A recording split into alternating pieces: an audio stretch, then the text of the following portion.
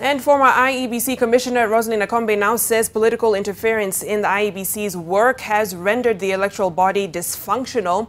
Speaking to the Daily Nation from New Jersey in the U.S., Dr. Akombe says a clique of Secretariat staff led by CEO Ezra Chiloba bungled the August 8th election. Akombe says Chiloba's decision to take leave ahead of the fresh election is of little consequence as it will not guarantee a free and fair election.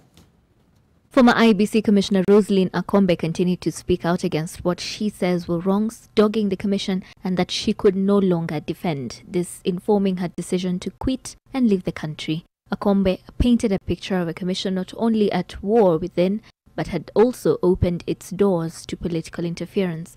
Akombe heaped more blame on the IEBC Secretariat, led by CEO Ezra Chiloba, and what she says was a small clique of Secretariat staff serving political interests and who bungled the August election. She claims the Secretariat vetoed almost all of the Commissioner's decisions, making it hard to make progress. These members of the Secretariat, she says, enjoyed political protection, even from the chairman and commissioners who tried unsuccessfully to fund them after the election was nullified.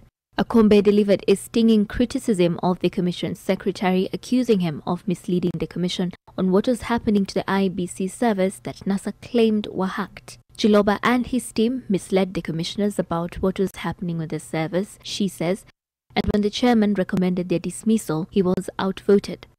She dismissed his decision to take a three-week leave of absence, saying it came too late in the hour to be of any consequence. She says it would only have made a difference after the Supreme Court ruling.